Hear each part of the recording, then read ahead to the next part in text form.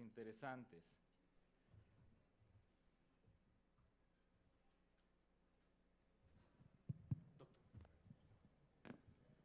Perfecto, ahora sí. Como ustedes pueden ver, está en el centro, en el centro del cuadro en donde tenemos los trastornos funcionales intestinales. Y esto no implica que nada más estamos hablando de trastornos intestinales cuando nosotros vamos a ver distensión. El paciente que tiene dispepsia funcional presenta distensión abdominal también. Pero bueno, basándonos en este pequeño cuadro, ustedes van a ver dos situaciones. Uno, el paciente que tiene todos los, todos pacientes que tienen estreñimiento funcional y que pueden presentar distensión abdominal y pacientes que y también pueden presentar esto. Es que probablemente hasta un tercio de los pacientes van a presentar una ciclicidad, o sea, pueden ir de un cuadro típico de estreñimiento a un cuadro típico de síndrome de intestino funcional. Y cuando nosotros estamos hablando de intestino irritable, vamos a ver nosotros los cuatro tipos de subtipos que existen, ¿no? Y eso, podríamos decir, ¿existe una separación real entre todos ellos? ¿O es algo artificial que nosotros estamos creando? Si nosotros vemos los criterios tan solo nada más de intestino irritable, que ya los conocen, vamos a ver que lo único que diferencia la distensión abdominal funcional es la presencia de cambios en el hábito intestinal. Y de repente uno dice, híjole, ¿qué tan real es esto? Fíjense, lo único que dice es que no puede llenar los criterios de intestino irritable, de dispepsia funcional. Pero por lo demás, distensión abdominal se encuentra ahí. No podemos quejarnos de esos. Si nosotros más nos enfocamos en el intestino irritable, vamos a ver que el paciente puede presentar dos tipos de distensión. Aquellos en donde el paciente nos cuenta y nos dice, a determinada hora del día tengo que desabrocharme el cinturón, es una distensión objetiva, este, las mujeres que son muy estéticas dicen, tengo que usar blusas muy holgadas porque realmente parezco embarazada. Y si los hombres pudieran embarazarse dirían lo mismo, pero a veces no es tan evidente. Y hay otro grupo que es muy interesante, que es la distensión subjetiva. Aquellos que dicen que se inflan, que se distienden, pero que en realidad no hay algo objetivo. No hay algo objetivo, no, no, tienen que desabrocharse, no tienen que cambiar de camisas, no tienen que cambiar de, de ropa entre ellos. Y entonces, cuando tenemos esto, yo les preguntaría, como me pregunto a mí mismo, ¿qué importancia yo le doy a la distensión abdominal? ¿No? Esa es una situación interesante. Si nosotros vemos en nuestras estadísticas propias, que todos están en la clínica, ¿no? Todos vemos pacientes. Entonces, si nosotros nos preguntamos a nosotros mismos y lo comparamos con lo que hay en la literatura y decimos, híjole, ¿cuántos de los pacientes que vemos diariamente y si les preguntáramos, ¿se distiende? Veríamos nosotros. ¿Un tercio? ¿Más de un tercio? Cuando hacemos un, un interrogatorio así específico de esto, la literatura nos dice que de repente puede llegar hasta el 27%, ¿no? ¿Cuántos llegan nada más por distensión? ¿Cuántos llegan diciendo, estoy distendido y esa es mi única situación? Muchas de las veces no llegan en forma pura, esa es una realidad. Ahora, si nosotros hiciéramos lo que se hace en Roma en ocasiones, que son cuestionarios a la población abierta y lo comparamos con los pacientes que en realidad llegan a la consulta, vamos a ver que siempre hay una diferencia. ¿Cuál es el motivo por el cual una persona que tiene distensión subjetiva u objetiva va a llegar al consultorio, porque no todos llegan, ¿no? de los que ah, muchos de ellos son aquellos que están sufriendo en forma solitaria, como nosotros decimos, pero bueno, aquellos que llegan a consulta, en gran medida, son aquellos que tienen muchos de los factores que ya hablaron hace ratito este, en, el módulo que existía ya. Nada más me quedan 32 segundos según esto. Edad mayor, este, aquellos que le dan más intensidad y que tienen más síntomas diferentes a la distensión. Una situación que es chistosa es que dependiendo de la sociedad que estemos viendo, hay grupos que dicen que los que más se quejan son los que tienen mayor educación y hay otros que dicen que son los que tienen menos educación. La realidad es de que, ¿qué tipo de población ven ustedes? ¿Qué es la que se van a ver ustedes que se relaciona con los que llegan a su consulta? Es algo que es interesante. Ahora, hay, si se acuerdan en, la, en la transparencia previa, vamos a ver que también hay factores físicos que pueden impactar en cierta presentación de la distensión. Aquellos que son estreñidos pues tienen tendencia a tener mayor posibilidad de tener una distensión objetiva. Pero en realidad, ¿cómo medimos nosotros esta distensión? ¿Cómo decimos si el paciente tiene distensión objetiva o una distensión subjetiva?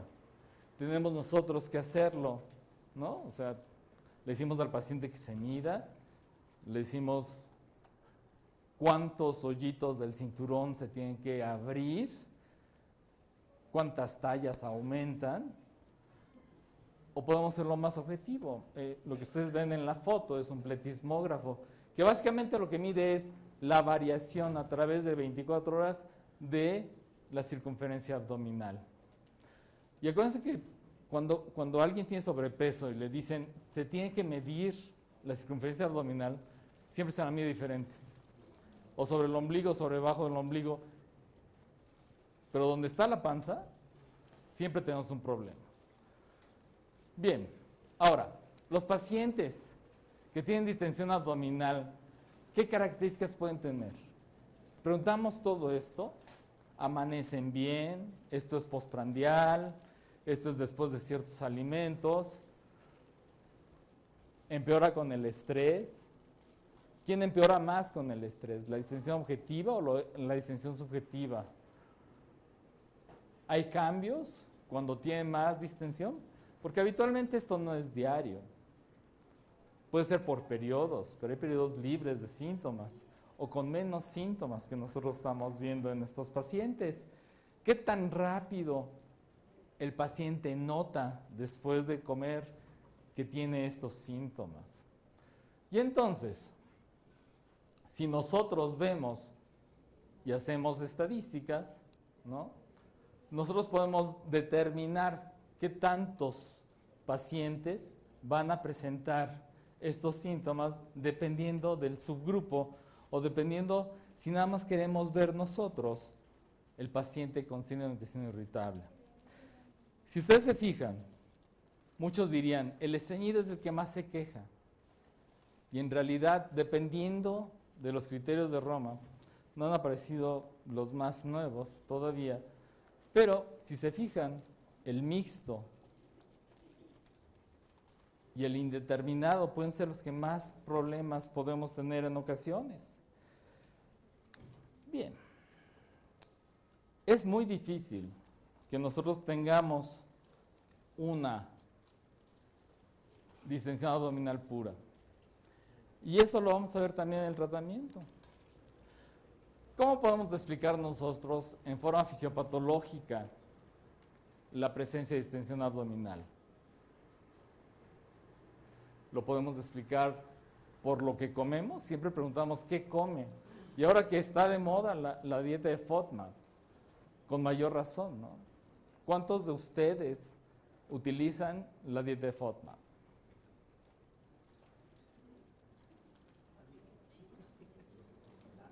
¿Nadie? Sí, ¿no? O sea, dos, ¿quiénes evalúan que efectivamente sus pacientes lo hagan en forma estricta y real? ¿Quién de ustedes realmente ha hecho o tratado de hacer la dieta FODMAP? Yo tampoco, ¿eh? ni se crean. O sea, es muy difícil este, decirle al paciente, estos alimentos le van a causar gas, porque una característica independiente de todo lo que podamos decir es, el paciente llega porque dice, todo lo que como me distiende, todo lo que como me distiende. Y entonces tratar de hacer un diario de, de la dieta es muy difícil. Implementar FODMAP, híjole, a mí me ha costado, con nutriólogos, sin nutriólogo, con guía, regañándolos, no regañándolos, apapachándolos, como sea, no lo hacen. Hacen algunas cosas y ven que sí funciona. O sea, realmente hay alimentos que pueden causar distensión abdominal. ¿Quiénes se quejan más? Híjole, yo creo que aunque decimos que las mujeres son las que más se quejan, realmente la distensión abdominal puede afectar a, los dos sexos.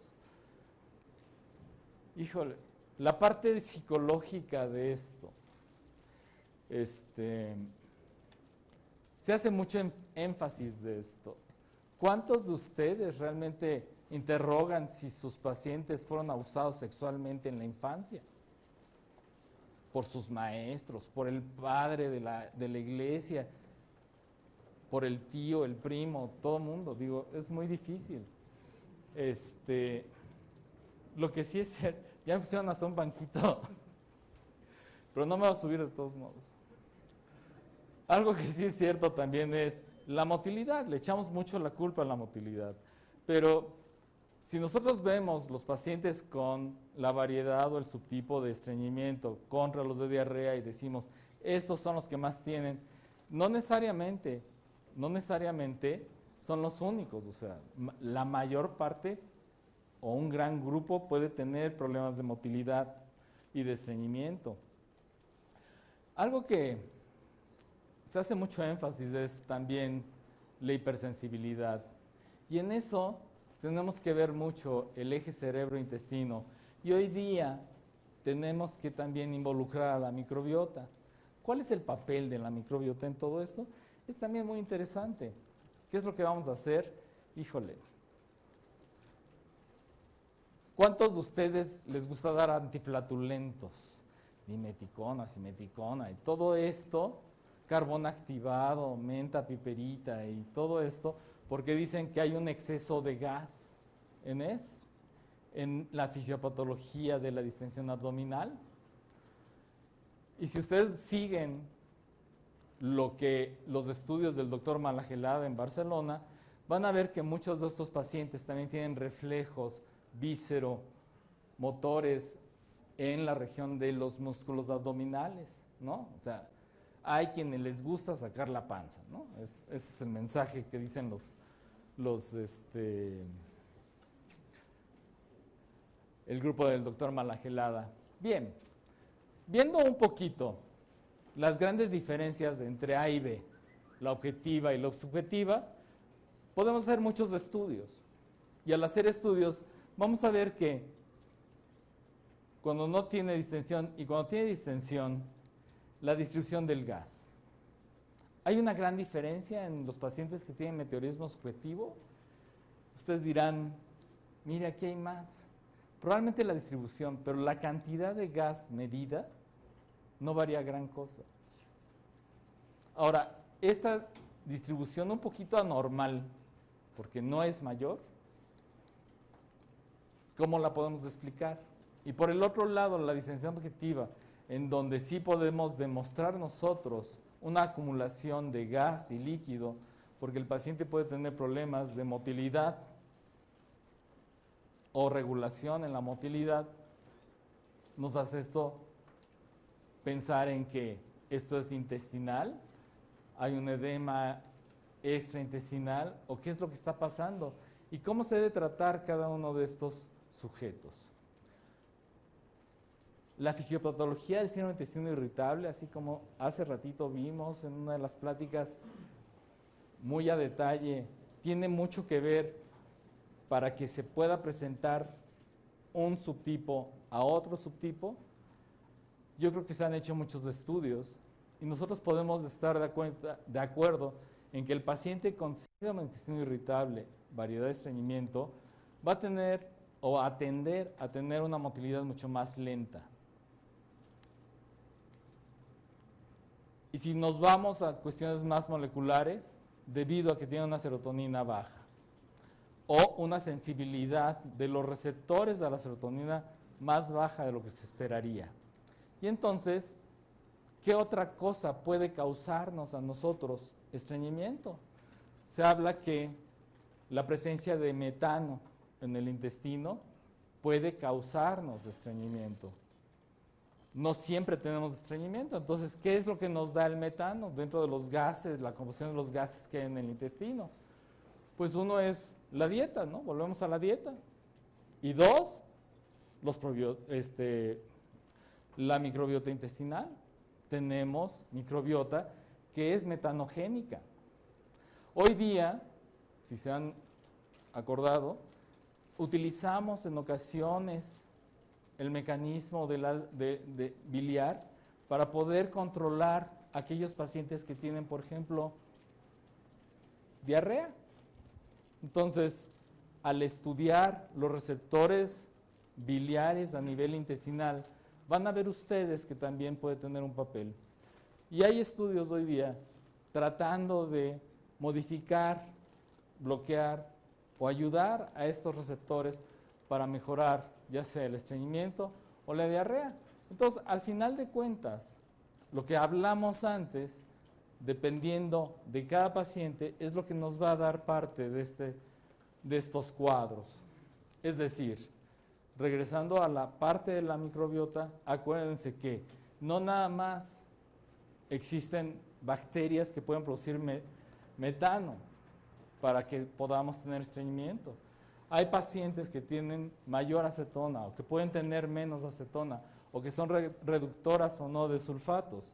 Y eso también nos va a causar más gas, más gas. Ah, esta, esta transparencia también se las traje porque ¿cómo medimos la microbiota? Es muy difícil. Hoy día no podemos cultivar las, las bacterias que están. Y estamos hablando de las bacterias, porque la microbiota también se compone de virus, parásitos y hongos. Pero si nada más nos vamos a las bacterias, vamos a ver que muchos de los estudios se basan en DNA y RNA. Y cuando hacemos eso, muchas veces no tenemos realmente cuáles son las bacterias que están preponderando o no. Y hacen muchos de los últimos estudios los coeficientes que, hablan de el grupo total, dependiendo de los factores que tenemos nosotros, tanto de composición de DNA como de RNA.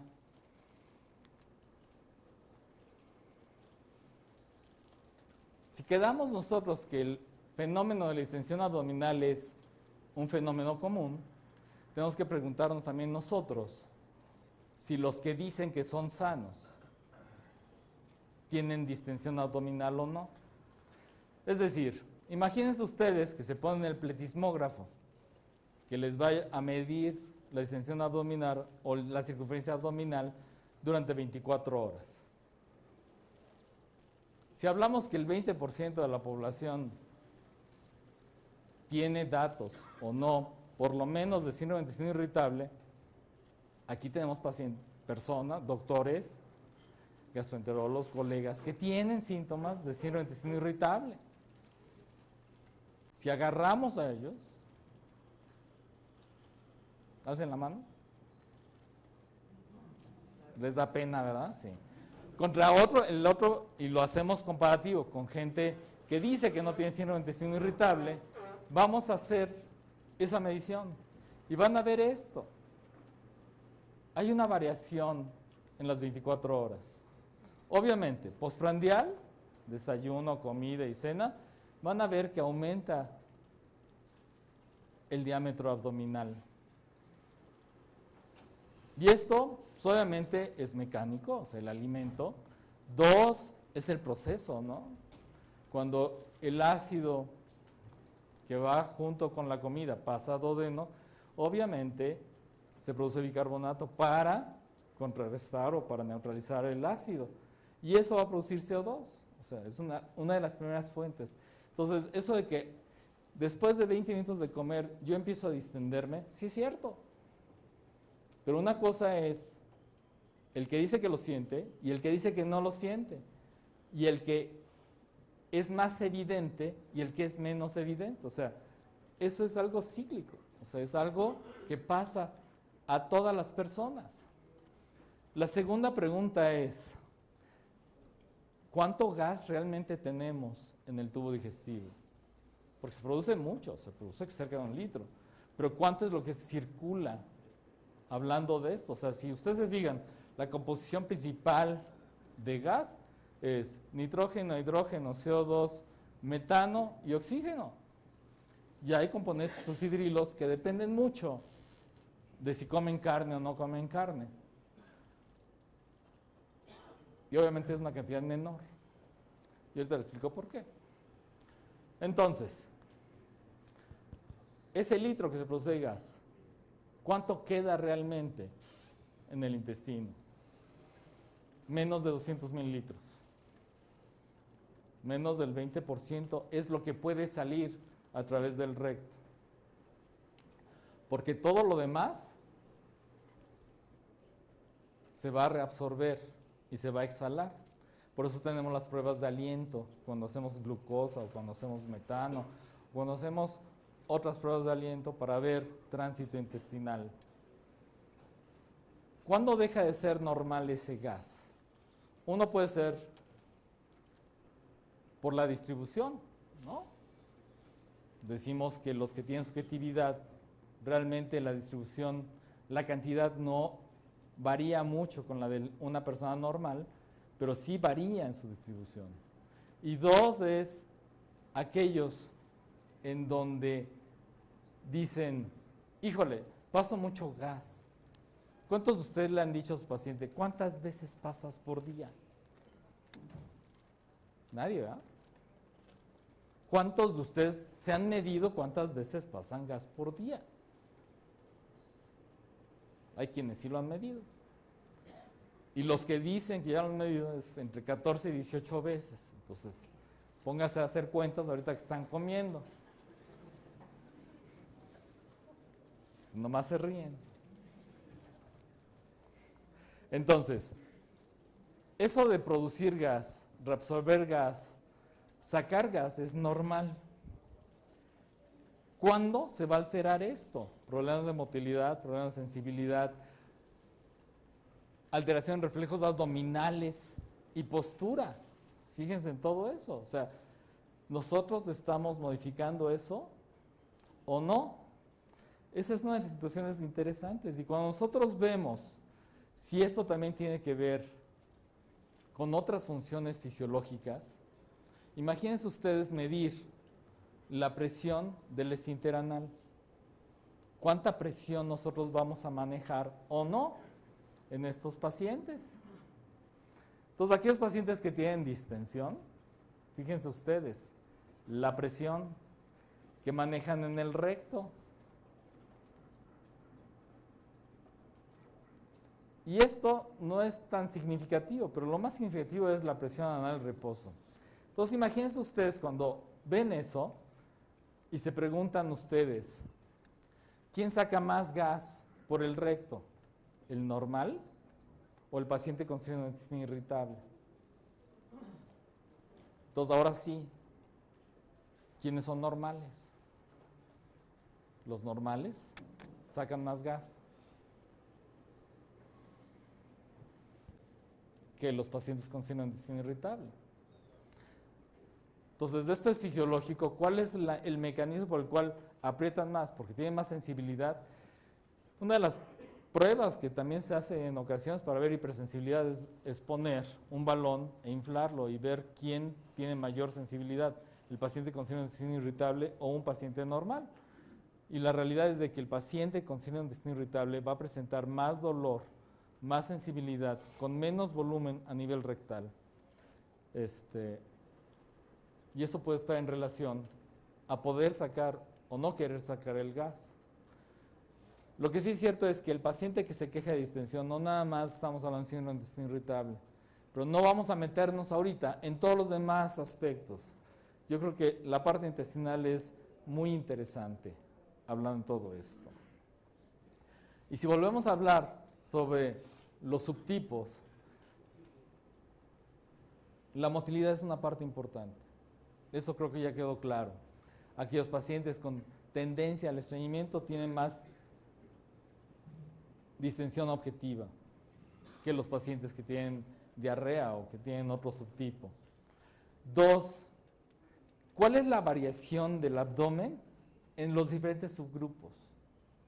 Y van a ver que ni estreñimiento ni diarrea son el subtipo más importante por porcentaje. Y si nosotros vemos la distribución del gas y de la materia, vamos a ver cuál es por perímetro, por percepción, el paciente que va a presentar más datos de distensión abdominal. Y eso es importante definirlo porque cuántos pacientes van a presentarse en su consulta diciendo que tienen gastritis y colitis, cuántos pacientes tienen dispepsia funcional y síndrome de intestino irritable, o sea, sobreposición de síntomas funcionales. Eso es muy frecuente en nuestros pacientes. Cerca de un 30% de nuestros pacientes van a presentar dos o más de estos síndromes. Y eso es interesante, porque cuando nosotros decimos, híjole, usted está ansioso, está deprimido, vamos a darle algo para esto. Usted ha sido abusado sexualmente de esto, del otro tenemos que tener bien claro cuál es el trastorno, si es cierto que esto es psicológico, o la parte psicológica en qué va a afectar en la parte fisiológica, en la parte del sistema nervioso central que va a estar, obviamente, integrando lo que nosotros estamos teniendo. Entonces, la realidad es de que la parte fisiológica, cuando se integra a nivel del sistema nervioso central, vamos a tener áreas muy juntas de en dónde está la ansiedad a nivel frontal y cuándo se activa en forma anormal cuando tenemos pacientes con síndrome irritable. Y vamos a ver que es muy parecido. Entonces, A condujo a B o B condujo a A o los dos se presentan al mismo tiempo. Lo que sí es cierto es que el proceso central va a ser muy interesante, tratar de ver qué es lo que nosotros está lo que está modificando más. O si la parte psicológica lo que más nos va a llevar a, tener es esto, problemas en calidad de vida. Básicamente, porque los, hay pacientes que tienen estos síntomas y padecen muchos otros padecimientos con distensión abdominal y van a ver que esto les va a causar.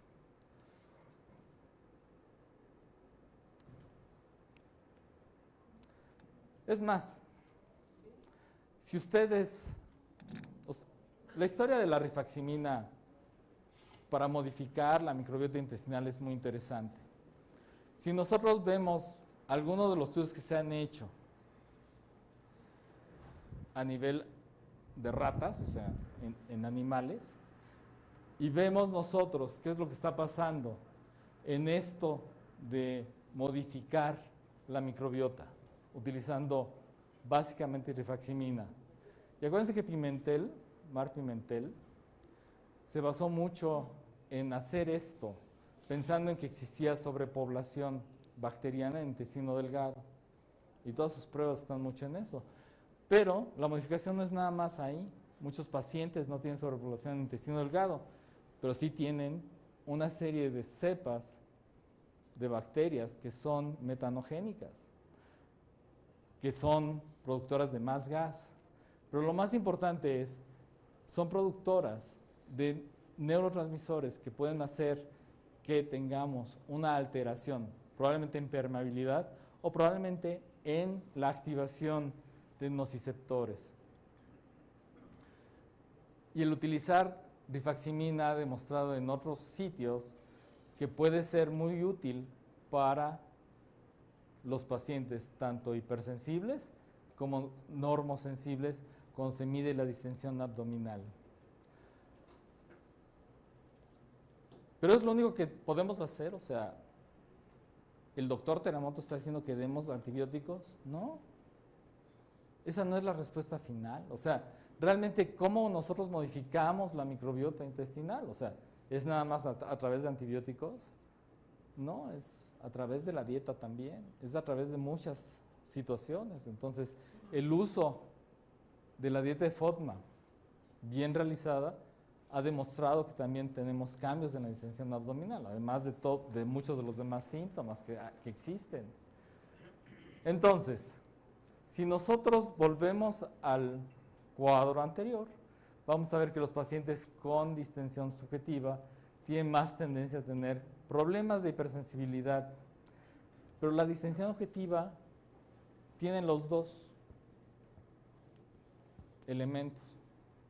No puede haber distensión objetiva sin, sin un problema de hipersensibilidad. O sea, hay cambios probablemente mayores en los pacientes que tienen distensión objetiva. Y eso es interesante porque a la hora de que nosotros vemos al paciente, lo evaluamos y decimos, necesita tratamiento, ¿qué es lo que voy a hacer? ¿Qué es lo que voy a hacer? O sea, lo que hemos dicho hasta ahorita es, vamos a modificar parte de sus hábitos, que yo creo que es importante definir, porque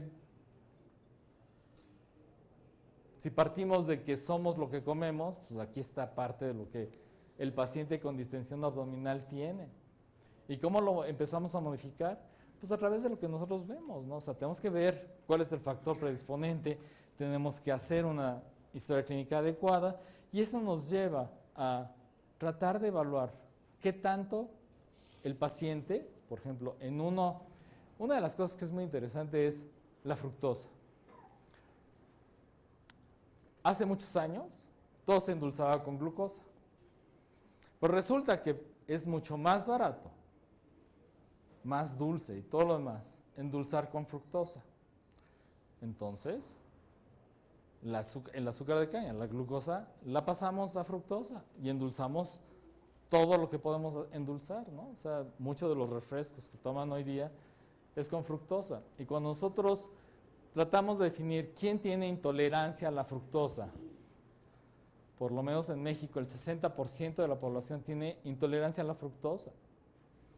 A nivel mundial, también se ha visto que este porcentaje puede ser elevado, pero endulzamos muchas cosas con fructosa. No hablemos de otros, de otros carbohidratos que también utilizamos para endulzar. Entonces, una de las partes importantes de, la dieta de FODMAPs es quitar fructosa y fructanos. Acuérdense de eso. Y está basado en esto. Está basado en esto. Entonces tenemos que orientar al paciente también en que existen alimentos que no creen que pueden distenderlos. Desde las frutas, ¿no? O sea, si ustedes ven la, la, la, dieta de FODMAP, el primer, la primera fruta que aparece es la manzana. ¿Y quién no recomienda comer manzanas? Y papaya. ¿Quién nos recomienda comer papaya? Y produce mucho gas. Bien, hay muchos artículos que hablan sobre el tratamiento de la distensión. Y si ustedes ven este, muy reciente que, o relativamente reciente, de, de Max, que es colombiano pero adoptado mexicano, van a ver ustedes que la cantidad de medicamentos que se utilizan y que si tienen o no tienen una evidencia real o no, no está basada en quitar la distensión, está basada en quitar si es que tienen estreñimiento, si es que tienen diarrea, si es que tienen problemas de motilidad o no. No estamos hablando de quitar el gas, no estamos hablando de quitar la distensión. Y lo dicen claramente al inicio, o sea, aunque el artículo se refiere básicamente a distensión abdominal, dice encontrar, uno, artículos que nada más incluyan pacientes de distensión abdominal, prácticamente es imposible. Entonces, todos los artículos que ellos incluyeron hablan de tratamiento de distensión en intestino irritable, en dispepsia funcional, en... Entonces, la gran variedad de tratamientos que ustedes pueden tener y que pueden funcionar depende también de qué otros síntomas puede tener el paciente. Y si ustedes ven, ahí están. O sea, todos los que quieran ver y de los que hablaron hace rato para intestino irritable, ahí están. De los que hablaron para dispepsia funcional, ahí están. O sea, no es de que no funcione. Hay reguladores para la sensibilidad también. Y eso no quiere decir que vayamos a modificar la distensión abdominal. Y muchas veces se dice, no van a modificar la extensión, van a modificar la sensibilidad a eso. La evidencia de probióticos es baja, en realidad es baja, porque tenemos una falla en la premisa. O sea, no podemos evaluar cuál es el cambio real que tiene ese paciente ahorita. Realmente este, carecen de bifidobacterias el, el paciente que estoy tratando. Tengo que darle más bifidobacterias o tengo que darle más lactobacilos porque tiene una deficiencia de eso? No tenemos medición de eso. Entonces, habitualmente los probióticos hablan de qué es lo más frecuente, no de lo que tiene mi paciente, porque no lo puedo diagnosticar.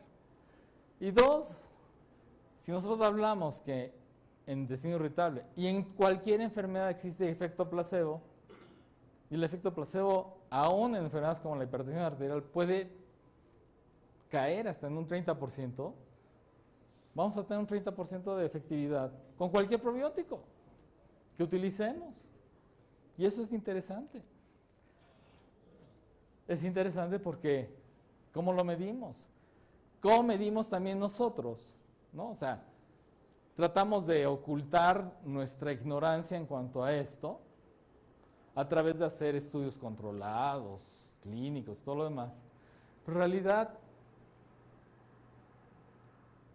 el uso de probióticos, el uso del antibiótico tópico, realmente estamos modificando lo que queremos modificar y damos el antibiótico y realmente conseguimos el cambio que queríamos.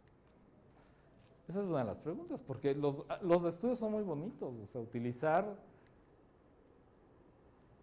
la rifaximina y hay revisiones sistemáticas y todo lo que ustedes me digan.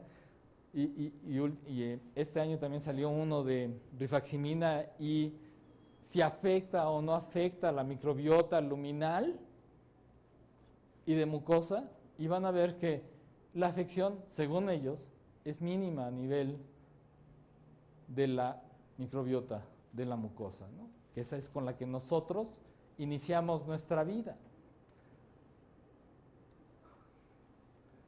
Hay estudios muy buenos con bifidobacterium lactis, que hoy es longum.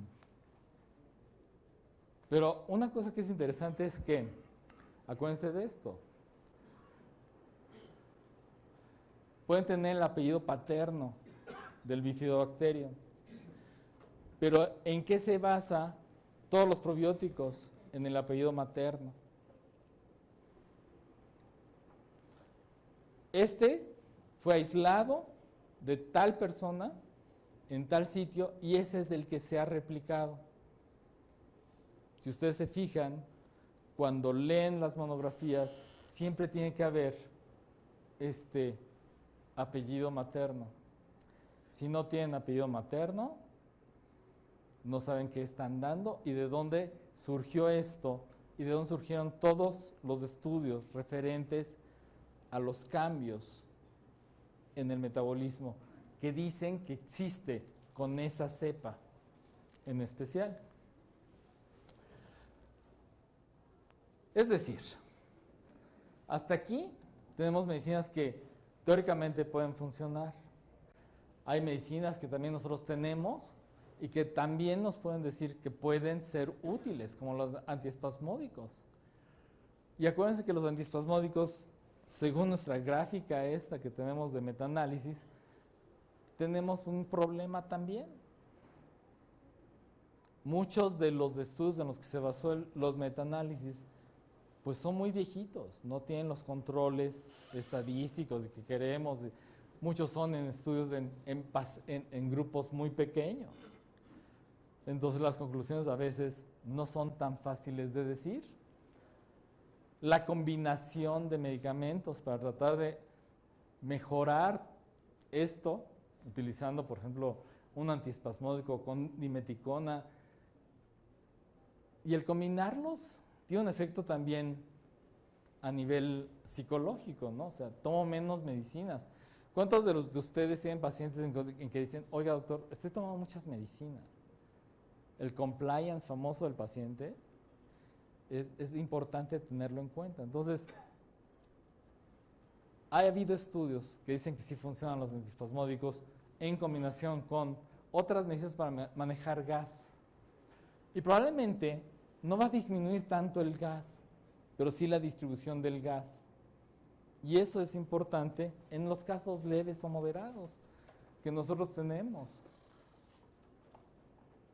Acuérdense que siempre va a haber un efecto placebo importante que no vamos a poder quitar en los pacientes y en los pacientes que, que están tomando básicamente esto. Ahora, en estudios in vitro, o sea, en animales, también se trató de ver si el efecto, acuérdense que la dimeticona este, rompe la presión de la superficie de, los, de, las, de las bolas de gas y por eso hace más difusible o más absorbible lo que tenemos de gas y por eso podemos manejar mejor el gas. Pero si nosotros vemos también el efecto a nivel de mucosa, vamos a ver nosotros que también tiene un efecto aparentemente modulador a nivel de la mucosa del intestino.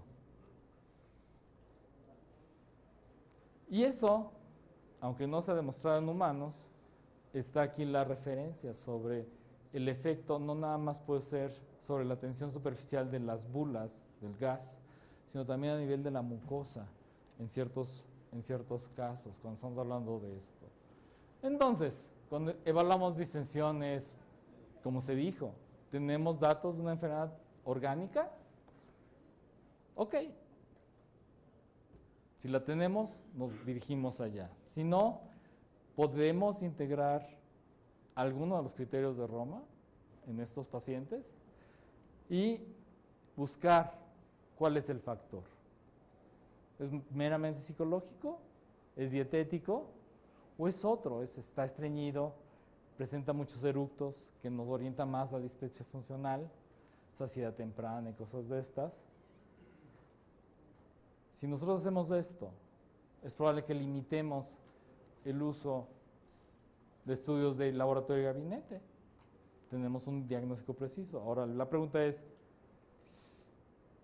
¿lo vamos a controlar fácilmente o no? Y yo creo que eso va a depender mucho de si podemos definir cuál es el mecanismo fisiopatológico que está afectando a este paciente. Sensibilidad, motilidad, bilis, ¿qué es el factor? Y para cada uno tenemos una terapia totalmente diferente.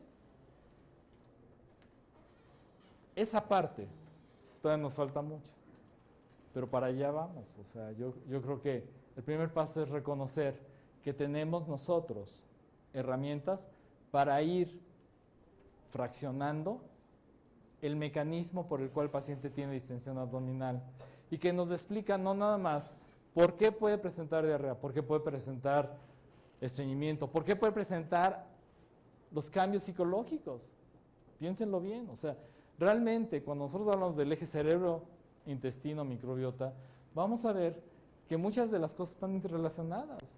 Y no podemos decir que el paciente está deprimido y por eso es más sensible, únicamente. Es decir,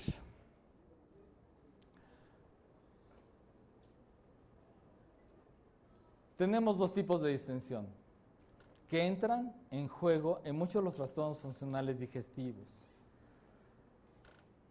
¿Qué es lo que nos va a orientar a ir hacia uno o hacia otro o decir tiene sobreposición de síntomas y tenemos que tratarlo en forma integral, nuestra historia clínica. es multifactorial. No podemos hablar nada más de microbiota, no podemos hablar nada más de espasmos, no podemos hablar de trastorno de motilidad únicamente, o sea, son varios mecanismos que pueden estar involucrados. ¿Cuál es el que regula todo esto? Esa es una parte todavía que tenemos que ir afinando. Pero teniendo esto en cuenta, yo creo que tenemos un buen camino que hemos ido avanzando. Y eso yo creo que lo vamos a ir modificando a través de nuestra terapéutica. Y tenemos una terapéutica amplia, o sea, la racionalización de esa terapéutica es la que nos va a llevar a dar un buen tratamiento. Gracias. Ah, otro último mensaje. La Sociedad Latinoamericana de Neurogastroenterología está, existe. Los invitamos a participar. Max fue uno de los fundadores, colombiano. El año que entra, la presidenta de la sociedad va a ser la doctora Alvis Hani, colombiana. Entonces, qué mejor que ya vayan preparando, participando y todo esto. Una de las cosas que se ha logrado a través de estos años es esta revista. Véanla, revísenla. Neurogastro Latam Reviews está online y está abierto. Tiene artículos muy interesantes. Básicamente es de revisiones. Y esas son las cosas que queremos que nos ayuden a mejorar. Y queremos que esto sea una cooperación latinoamericana en donde no nos vengan a decir los estudios en Estados Unidos de los estudios en Europa. Queremos ya estudios que se hagan aquí en Latinoamérica.